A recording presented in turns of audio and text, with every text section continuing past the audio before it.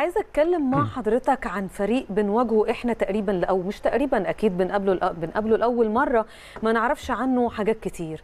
ده بيكون صعب إنك ما, بت... ما يعني مش عارف المجهول ولا لأ بيسهل مهمة الفريق شوية يا كابتن فتحي لأ مين مين الأحسن على الساحه الافريقيه مين اللي المفروض يفرض أسلوبه؟ النادي الأهلي. المفروض يسلب طبعا صاحب النادي الأهلي. آه. النادي الأهلي النادي الأهلي بخبراته زي ما قلت لك بلاعيبته بجهازه الفني ب- بدائما النادي الأهلي مسيرته في الكرة الأفريقية مسيرة كويسة جدا مسيرة أيضا فيها بطولات. آه سنديب بطل النيجر ما حدش يمكن يمكن أول مرة نسمع عنه يا كابتن. أنا أول مرة يشترك في هذه البطولة. فدائما النادي الأهلي يفرض أسلوبه على أي فرقة وخصوصا خارج ملعبه هو وصل مرتين مرة للكونفدرالية ومرة دوري أبطال يعني هي ما كملش يعني. آه. ال- الفكرة نفسها طبعا هي جزئين وهاخد رأي حضرتك فيهم البداية دايما بتبقى بداية رغم طبعا الفروق. الفنية فنية، والفروق آه. الفر- الفردية لصالحنا لكن البداية بتكون مهمة وكمان الجزء الآخر إن الفرق زي دي وحضرتك أكيد عندك خبرات إنك بتلاعب فريق بلغة الكرة كده مش خسران حاجة هو بيلاعب هو بيلعب مع بطل آه، مع بطل بطل أفريقيا. بيلعب النادي الأهلي المدير الفني بتاعه كمان بيحفز لعيبته بيقول لهم أنتوا لو عملتوا نتيجة جيدة ده هتتكتب في التاريخ فطبعا عملية التحفيز والعامل ال- النفسي بتكون أكيد دافع لفرقة زي ديت أكيد مش يعني. كل حاجة مش كل يعني الشق المعنوي والشق النفسي وكل هذه الأمور والمدير الفني بيبقى متحمس واللعيبة متحمسة ولكن الشق الفني يا كابتن إيه مهم جدا النهارده اللعيبة. على مستوى النهارده لعيبة النادي الأهلي ما شاء الله على المستوى الأفريقي والمستوى الدولي والمستوى المحلي. لا لعيبة كويسة. عشان كده بقول لك النادي الأهلي دائما هو اللي يبادر يبادر الفرقة دي النهارده. هو ما فيش بقى جس نبض وشو الفرقة دي بتلعب إزاي وكل هذه الأمور. درسوها يا كابتن. اتفرجوا على الفيديوهات. اتفرج آه على طبعاً، الفيديوهات. وممكن أكيد. الفرقة دي بتلجأ للكور الطويلة بتاع الأسلوب الأفريقي بتاع زمان. فالنادي الأهلي لازم يستثمر هذا الكلام ولازم يضغط يضغط من قدام.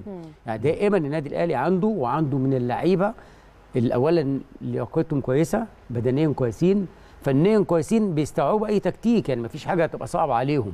فهذه الأمور هذه الأمور أنا شايف إن الخطوة الأولانية أو الربع ساعة الأولانية مهمة جدا. جدا جدا جدا. ما تديش بقى سيبك من ما جس تدخلش النبض. بقى الفرقة الم- الماتش معانا صح بس ما تديش بقى جس النبض واشوف الفرقة بتلعب إزاي ومش لا لا لا. كل هذه الأمور أنا شايف النادي الأهلي لازم هو اللي يبقى بادئ دائما وهو اللي يفرض أسلوبه وهو اللي يخلي الفرقة الثانية ترد فعل طب إحنا عندنا النهارده غياب غياب القيادة الفنية مستر موسيماني.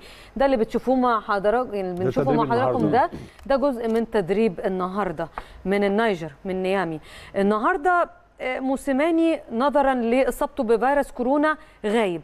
يأثر ده على الفريق كابتن فتحي وبأي لأي مدى ممكن يأثر على لعيبة النادي الأهلي؟ هو بص دائما المدير الفني غيابه بيأثر. يعني برضه بيأثر بيأثر كشخصية بيأثر كقيادة ماتش إدارة الماتش وكل هذه الأمور. حتى في الناحية النظرية وهو بيقول محاضرة الماتش كل أيوة. هذه الأمور بيؤثر يعني مم. ولكن إذا كان هناك إذا كان هناك شو أنا بقول إذا كان هناك دائما المدرب العام زي الكابتن سامي قمصان شخصية كويسة شخصية قيادية شخصية أيضا بتتمتع بشخصيته كويسة قوي النواحي الفنية قطعا يبقى في مع مستر موسيماني في تشاور بين الاثنين ويمكن برضو من خلال الفيديو من خلال دائما الاتصالات التواصل.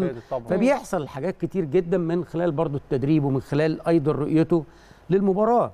ولكن مين اللي هيقود الكابتن سامي قمصان يعني الكابتن سامي قمصان وكوتش. كيفن آه، طبعا آه هو آه. هو هو خلاص طبعاً هيقود سامي. بكرة هذا آه. اللقاء واتمنى له التوفيق إن شاء الله مم. لأن زي ما قلت لحضرتك فرقة النادي الأهلي هتستوعب النهارده لو أنا جيت شرحت النهارده أسلوب لعب وتكتيك لعب خلاص اللعيبة بتستوعب هذا الكلام سريعا لأن هم اتعودوا على اللعب وتعودوا على أساليب لعب وتعودوا على التكتيك كل واحد النهارده اتعود حتى على واجبات وظيفته مم. فكل اللعيبة النهارده سهل جدا إن كابتن سامي قمصان إن شاء الله يقود بكرة الفريق آه، في غياب موسيماني طب في